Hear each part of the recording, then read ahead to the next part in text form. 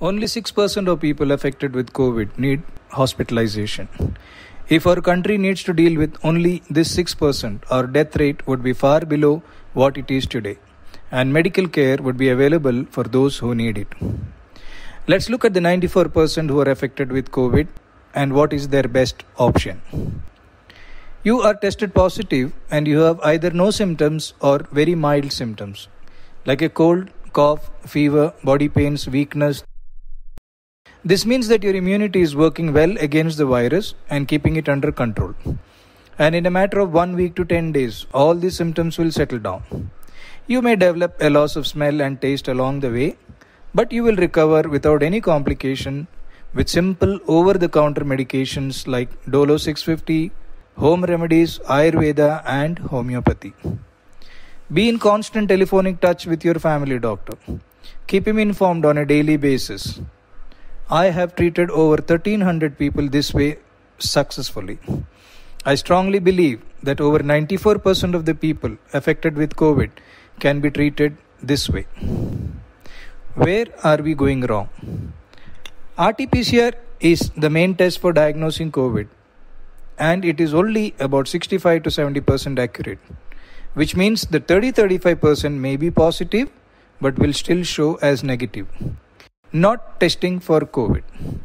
Let us assume that every cold, cough, fever that happens to us now is COVID.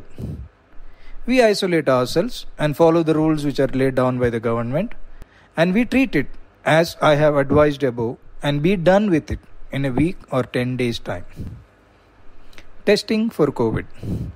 Once you are tested positive for COVID, you follow the above line of treatment and be done with it in 1 week to 10 days' time. But this is possible only in 10% of those who have tested positive. Let me explain what happens to the rest 90% who are tested positive. Panic.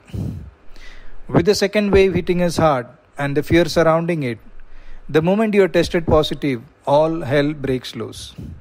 You are flooded with advice from relatives, friends, colleagues, each one telling you their experiences and all the gory details from the news and the social media, and you get scared. You hardly have any symptoms, but the moment you know you are positive and you hear all their advice, you start to panic. When you panic, your breathing pattern changes. You breathe shallow and in doing so, you pull carbon dioxide in your lungs and you begin to feel breathless.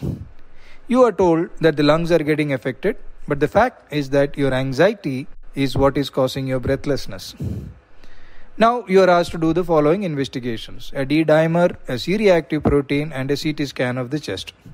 A D dimer Elevated levels of D dimer are associated with any inflammation and any disease activity.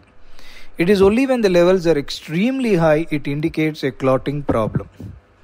C reactive protein. A high level of C reactive protein in the blood is a marker of any inflammation. It can be caused by a wide variety of conditions. Both the above tests are not specific for COVID, they are just supportive evidence of inflammation and infection. CT scan of the chest. More than 80% of the COVID patients show ground glass appearance in their CT scan. The moment you see the report, everyone says that your lungs are involved and you are in trouble. But that's not true.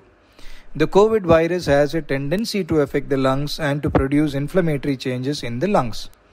Ground glass opacity is not specific to COVID. It is seen in many inflammations and infections. These, in most cases, resolve on their own.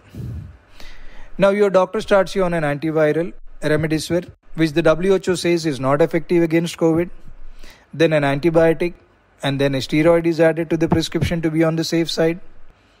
Remember, when you are in panic, your doctor who is treating you will also go into panic and ask you to get admitted. After all, he is human and he is answerable for you. What you need to understand is that your immunity is doing a great job in containing the COVID virus. That is why you hardly have any symptoms. All these medicines are very strong and have a lot of side effects. When you consume these, they together crush your natural immunity, which is doing a great job, and you begin to get worse. Your condition deteriorates and you end up in the hospital. The medical system is doing its best, but it is overwhelmed and in the process of collapsing. You need to use your common sense and logic and decide which way you want to deal with the COVID when you get affected by it. The authorities are now saying that COVID is spreading through the air and not a droplet infection anymore, which means the spread is very fast. The way the second wave is hitting us, the chances are that most of us at some time or the other is going to get affected by the COVID. And by then, we need to be ready with our choice.